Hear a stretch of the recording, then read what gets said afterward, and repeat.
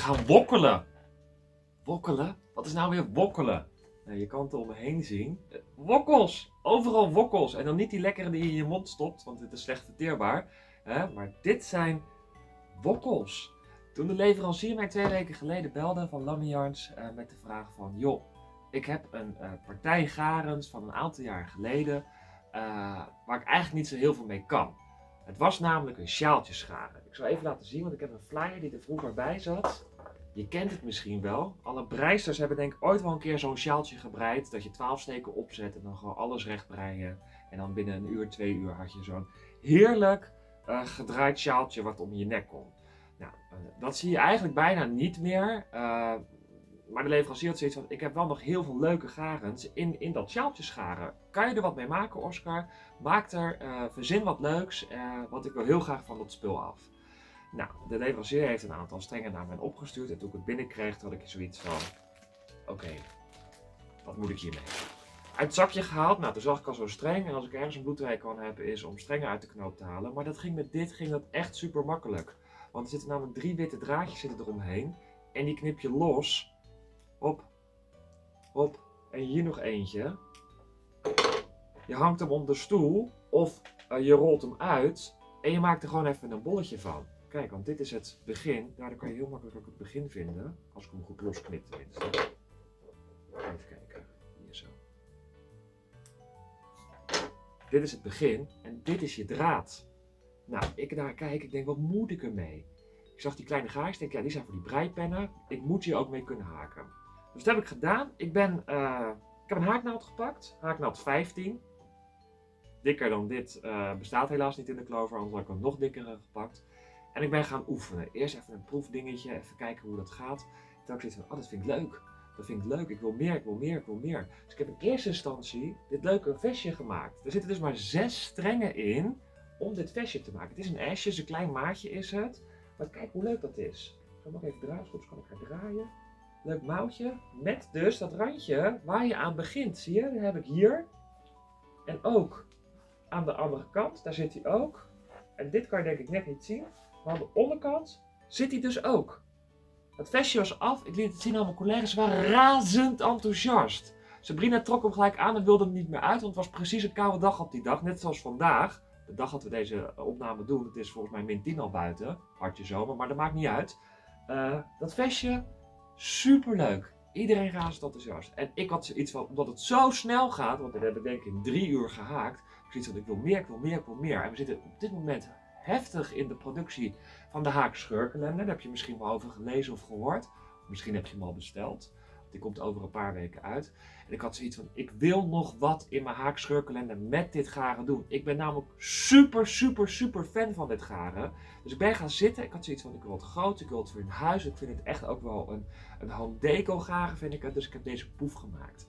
Dus heb je mijn Haak Scheurkalender nog niet besteld, doe dat nu, want ook deze poef zit er straks in. Vijf strengen zitten erin en dan kan je dus heel die poef kan je maken. Hoe gaaf, wokkelig, daar is die weer, wokkelig uitstraling heeft deze poef. Het is een beetje een knuffelpoef geworden. Dus deze kan je dus vinden in mijn Haken scheurkalender. Heb je hem nog niet besteld? Doe het dan even op www.berrepasja.nl en doe je dat voor de einde van augustus, dan signeer ik hem ook straks persoonlijk. Uh, hij komt ongeveer eind september uit, dus wees er wel tijd bij, want de eerste druk is bijna op. 14,95 haakscheurkalender kan je dus nu bestellen en er staat onder andere deze poef dus in.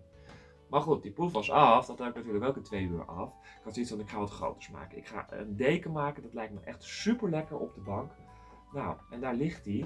Hij is bijna af. Ik heb nog één streng die eraan moet, dat is deze dus, dus die heb ik alvast losgemaakt.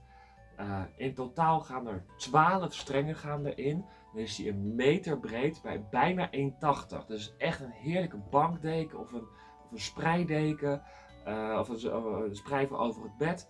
En het is ook lekker dik. Weet je, is echt zo'n lekkere deken waar je onderweg kan kruipen of een mooie bed mee af te maken. Echt een super leuk garen. Nou, hoe haak je het? Dat ga ik je zo allemaal laten zien. Maar ik heb een aantal kleuren. Want ja, ook al is het garen een paar jaar oud, het zijn best wel hippe kleuren. Zoals hè, dat met dat petron, dat donkerblauw. Of dat oud roze met een beetje bordeaux wat erin.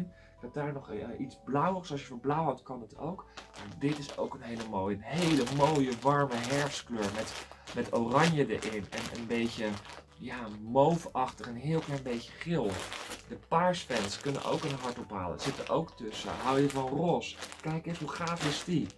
Uh, groen, een beetje een slang doet me hier aan denken. Dus als je deze ergens in, de, in een ronde haakt en je legt hem in de gang, dan kan je iemand nog laten schikken als slang, zeg maar. Groen is er ook. En er zijn twee kleuren. Ben je, hou je van zwart? Zoals ik, zeg maar. Ik draag altijd zwart. Dan is er ook altijd het zwart beschikbaar. Of in het grijs. Nou, hoe gaaf is dat? Ik kan echt, echt, ik vind het zo leuk hè, omdat het ook zo snel gaat. Hè. Binnen een paar uur heb je gewoon wat gemaakt. Dit kan je binnen drie uur maken. Dit is twee uur maken. Die deken, nou ja, ik haak 15 centimeter in 25 minuten. Wel met deze Yukol, kijk, heb je hem al, Clover, 15. Echt, het gaat als een trein. Maar ik ga je ook even laten zien zo meteen hoe je dit nou haakt. Wil je dit garen bestellen? Ga dan naar www.perapasha.nl. Het heet Cascada. De website zal ik een banner maken dat je daar gelijk op kan klikken. Cascada garen is het.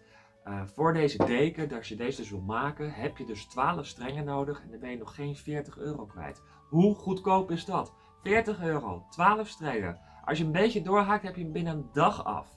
Nou, allemaal kleuren, allemaal dingen. Ik heb nog heel veel meer ideeën. Deze staat dus in de Haak scheurkalender. Deze kan je nu bestellen. Deze komt binnenkort. En in de herfstbox heb ik straks ook een verrassing met dit garen. Maar dat ga ik je nog niet laten zien. Nou, voor nu ga ik je laten zien hoe we dit garen het beste kunnen haken. Maar voordat ik het ga doen, wil ik je wel nog even zeggen van, vind je deze video leuk? Laat het dan even weten met een thumbs up. Abonneer je op ons kanaal en laat even een reactie onder weten. En dan gaan we nu op de tafel laten zien hoe je met dit garen kan haken.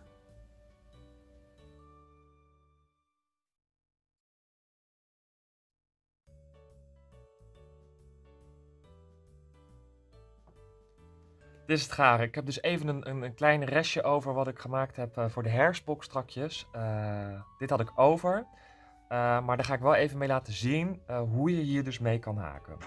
Dit is het garen. Nou, normaal gesproken wat ik al zei, ga je hier dus met je breipennen in en ga je dus zitten breien. Dat gaan wij niet doen. Ik ga een klein proeflapje maken en dan laat ik precies zien hoe je dit werkt. In eerste instantie, ja, je hebt dus haaknat 15 nodig en haak je heel erg los, dan kan je ook eventueel haaknat 12 gebruiken. Maar ik heb een hele stevige hand van haken, want ik heb hem, nou, zoals je ziet, echt de knokkels worden bijna wit van het haken al. Uh, een stevige hand van haken dus. Uh, dus ik heb haaknat 15 nodig en eigenlijk nog dikker, maar goed, dat, uh, dat is er niet in de klover en ik haak alleen met klover, want dat zijn mijn favoriete haaknaalden. Zoals je kan zien heb je dus die gaatjes. Nou, wat je wilt doen, dit is eigenlijk ook uh, je opzetketting van losse. Dus dit moet je eigenlijk zien als, als je losse ketting. dus 1, 2, 3, 4, 5, 6. Nou, ik ga nu een heel klein uh, proeflapje maken om dus te laten zien hoe je hier dus het makkelijkste mee kan haken. Nou, ik pak in dit geval even de zevende. Dan steek ik mijn haaknaald in dit gaatje. Waar dus normaal gesproken je breipen insteekt. Als je natuurlijk dit leuke randje onderaan jouw uh, kussen ook graag wil hebben, of aan je deken, of aan het vestje, of wat je ook gaat maken, wil je dat niet, dan kan je er ook gewoon losse mee haken. Maar ik vind het randje juist zo leuk, dus daarom heb ik ervoor gekozen om dus in dit gaatje te steken. Nou, wat doe je dan? De eerste toer is, is een beetje lastig, uh, maar ik ga stap voor stap proberen te laten zien wat je dus gaat doen. Ik heb nu heel de draad gepakt, die heb ik om mijn haaknaald heen geslagen. En dit is de eerste steek. En die is echt wel een beetje pittig, zeg maar. Want je moet hem namelijk door dat gat, zeg maar, heen krijgen. Ik doe hem even zo. En dat is echt de ouderwetse manier van haken. Nu heb ik één losse gemaakt. Nou, de volgende losse is wat makkelijker. Want ik moet even drie lossen, want ik ga stokjes haken. Hè? Dat is de tweede losse. Ik sla hem weer om. Gewoon de hele draad pak ik. Want dan krijg je dat leuke wokkeltje. En dat is drie. Nou, ik moet wel even mijn werk keren. Nou, zoals je kan zien, probeer ik even goed te laten zien, heb ik nu het eerste gaatje dus gebruikt, zoals je kan zien. Zie je? Het zit dus in dit gaatje. Nou, we gaan nu verder. Ik ga nu stokjes haken dus. Dus wat ik ga doen, ik sla heel de draad om mijn haaknaald. En nu ga ik dus in dit gaatje, zoals je ziet waar mijn vinger in zit. Hoppa, hier zo. Hier gaat hij in. Want ik zeg, die eerste toer is even wat lastiger, omdat je dus in dat gaatje zit te haken. Ik sla mijn draad eromheen, ik ga hem er even doorheen, door het gat. En dan heb ik eigenlijk de basis van mijn stokje. Ik sla hem nog een keer om. En dan haal ik er twee vanaf. Nou, dan heb ik er nog twee over. Ik sla hem om en ik haal hem er allebei doorheen. Nou, dat is mijn eerste stokje. Dan gaan we verder. We slaan hem om. Ik steek hem in. Ik haal die draad even op. Ik sla hem om. Eén eraf. En twee eraf. Ik sla hem om. En die andere twee. Dus omslaan. In het gat, zoals je kan zien. Ik haal die draad op. Omslaan. Kijk, daar heb je dat wokkeltje, zie je? Zo leuk. Tweede af. Omslaan. Tweede af. Omslaan. Nou, ik moet er nu nog twee haken. Ik doe er even twee. Dan kan ik de volgende toer ook aan je laten zien. Ik ga weer in het gat. Ik haal die draad op. Ik sla hem nog een keer om. En als je dus te strak haakt, dan kom je dus niet door je naald heen. Of door je, door je lussen heen. Zo. Nou, voor nu even de laatste. Dan heb je in ieder geval de basisprincipe van het wokkelhaken gezien. Doe hem zo. Omslaan. En nog een keer omslaan. Nou, dit is de basis, zoals je kan zien, van het wokkelhaken. Ik heb nu de lusjes dus op de draad gebruikt en daar heb ik eigenlijk gewoon stokjes in gehaakt. Nou, de volgende toer, echt, nu gaat het vanaf een trein, omdat het garen zo mooi sluit. Ik zal even die deken erbij pakken, zoals je kan zien. Het garen sluit heel erg mooi van zichzelf. Dus uh, je hoeft helemaal niet op te letten waar je hem insteekt. Dus wat ik heb gedaan, ik haak tussen de stokjes in. Omdat hij zo mooi sluit met al die wokkeltjes erop, is het gewoon uh, een, een, een supersnel garen om mee te haken. Dus ik ga nu drie lossen maken. 1, 2 en 3. Keer mijn werk. En wat ik dan doe, ik ga gelijk in het eerste gat. Want dan blijft hij ook mooi recht en uh, dat vind ik zelf het mooiste. Kijk, en dat die gaten vrij groot zijn, dan denk je, oh wat grote gaten. Maar dan ga je straks allemaal niet meer zien, want het trekt in, een beetje in elkaar namelijk. Dus ik ga in het grote gat en ik maak mijn stokje. Eén keer. Zo, dat is stokje. Omslaan, volgende gat. Nou, je kan dus makkelijk zien waar je in moet steken. Dus wees niet bang, help, ik ga dat niet zien. Geen enkel probleem. Je kan echt heel gemakkelijk dus je, je gaten zien waar je dus in moet steken. Nou, iedereen kent ondertussen wel een stokje haken, dus dat hoef ik op zich niet voor te doen. Hier is mijn gat. Pak de draad op.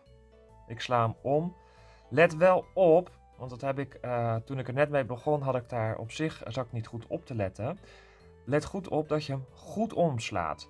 Het kan soms gebeuren dat je dus in de draad zit. En als je in de draad zit, dan krijg je hem eigenlijk heel slecht van je haaknaald af. En dan ben je aan het rukken en aan het trekken. Daar word je niet vrolijk van. Uh, dus goed omslaan voordat je zeg maar je stokje gaat maken. Kijk, nu gaat hij dus bij mij fout, zie je?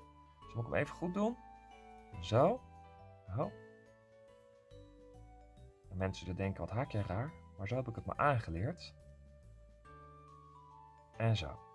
Nou, nog eentje, dat is de laatste. Dat is die. Omslaan. Tweede doorheen. Tweede doorheen. En zo heb ik mijn basis, zie je? Nou, dat is twee toeren. En zo ga je dus verder, drie lossen, om die deken zeg maar te maken. En natuurlijk, hè, ik stuur je een patroontje mee, bestel je dus 12 strengen op perapasha.nl. Uh, eh, dan zorg ik ervoor dat je het patroon van het deken uh, meegestuurd krijgt. Dat je weet hoeveel steken je ongeveer moet opzetten en hoeveel toeren je ongeveer moet haken. Dat is geen enkel probleem, kan ik allemaal meesturen. Uh, maar het is eigenlijk heel simpel, want je legt die draad, zeg maar die begindraad wat ik net aan het begin heb laten zien. Dus deze draad leg je eigenlijk gewoon neer. En dan denk je van, oké, ik wil hem zo lang of ik wil hem veel langer. ik wil hem, weet ik veel hoe lang. Kijk, ik kan er zo lang als je zelf wil. Uh, en dat is eigenlijk de basis, de breedte van de deken of van hetgeen wat je wil gaan maken. Ook voor het vestje wat ik je heb laten zien.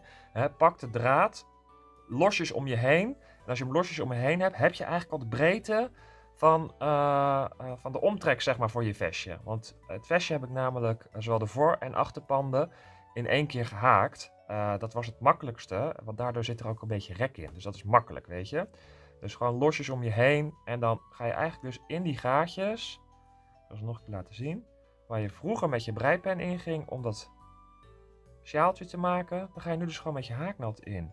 En je gaat lekker haken, totdat je de juiste lengte hebt of het gewenste resultaat.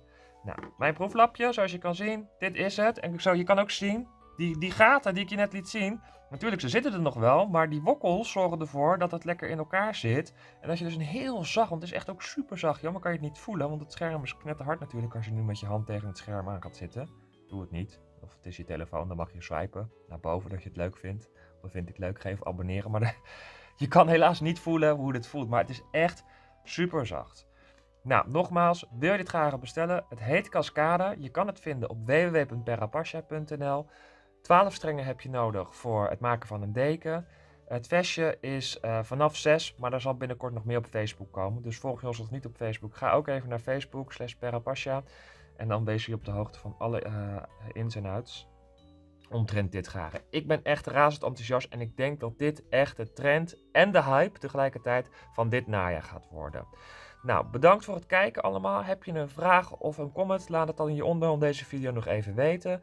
En voor nu zeg ik uh, tot de volgende keer. Je ziet me wel niet meer, maar ik zeg dag.